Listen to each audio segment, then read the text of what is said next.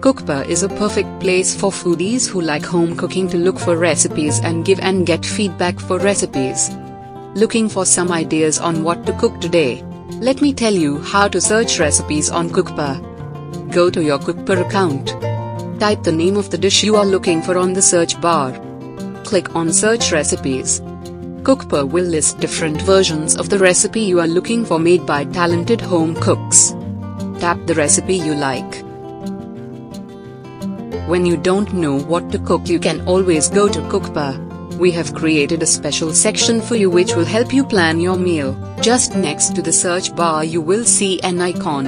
Category, in the app. You will see various options like cuisine, meal type, regional, etc. Tap the one you like and you will see multiple recipes. Select the one that interests you and start cooking. Cooksnap Cookpad offers a unique option of sharing photo feedback with other users. The best form of gratitude or feedback is recreating a recipe that you learn from a user.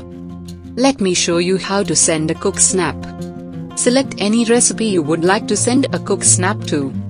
If you scroll down you will see an option share a Cooksnap. Tap the Cooksnap icon and select the photo of the recipe you want to send.